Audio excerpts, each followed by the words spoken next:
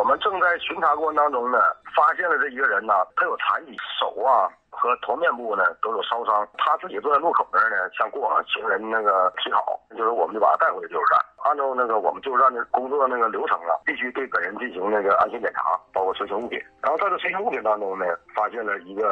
呃布包，打开之后呢，看里边都是那现金。清理之后呢，现金一共是两万九千元。据他自己描述呢，是从山东到辽来乞讨，是从七月初到现在的他的乞讨所得。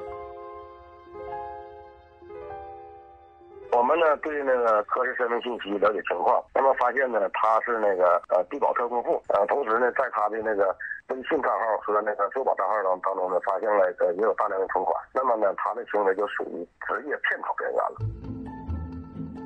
针对他这种情况，我们这边救助站怎么处理处理这件事呢？这个吧，他不属于违法行为，他他他够不上犯罪。他本人也提出来了，说这这两天的话，我我就在你救助站，我先那个呃住两天，过段时间以后，我可以自己走了呢，然后我就申请我自行离站，我自己买车回家。那个在此呢，我也提醒一下广大市民，奉献爱心呢是好事，但是呢一定要理性施舍，应该献给爱心，献给那些真正需要帮助的人。